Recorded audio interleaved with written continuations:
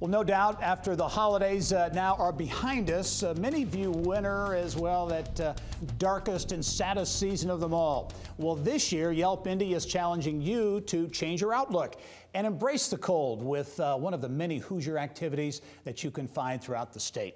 Yelp's uh, community director, Brittany Smith, returns now to help you get back on track with winter inspired food and drinks and sports activities, That's right? right. You can be active outdoors in the winter. Absolutely. And what I love about this list, Brittany, it is a truly a, a statewide list. Every Yes. corner of the state is uh, represented. So let's get right to it. Let's get to the healthy stuff first. You know, we, We're we- hanging on to those resolutions. Exactly, barely by fingernails. But there are lots of places you can go to kind of get in that, that health mode. Yes, to jumpstart it. Uh, Natural Born Juicers is a great example of that. Their first location is right on Mass Ave. They started out of a food truck and have blossomed from there. Now they have a location in Noblesville at Broccoli Br- Bills, and they offer juice cleanses. So if you're wanting to try something new, three-day package, you can make it tailored to you. That's a really great example.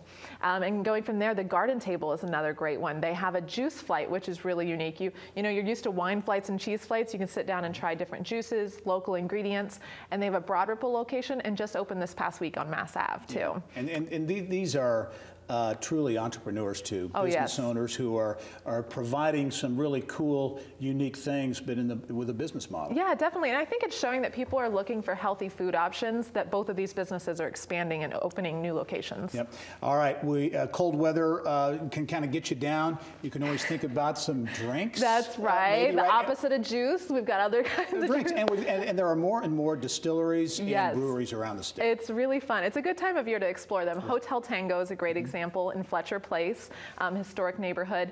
They have a great example that one of the top drinks that Yelpers are loving is their uh, Romeo rum in the winter, paired up with some apple cider. Uh, they got some orange and cloves, really good spices, and you can't beat their big stone fireplace in there. It's dog friendly. It's as cozy as it comes.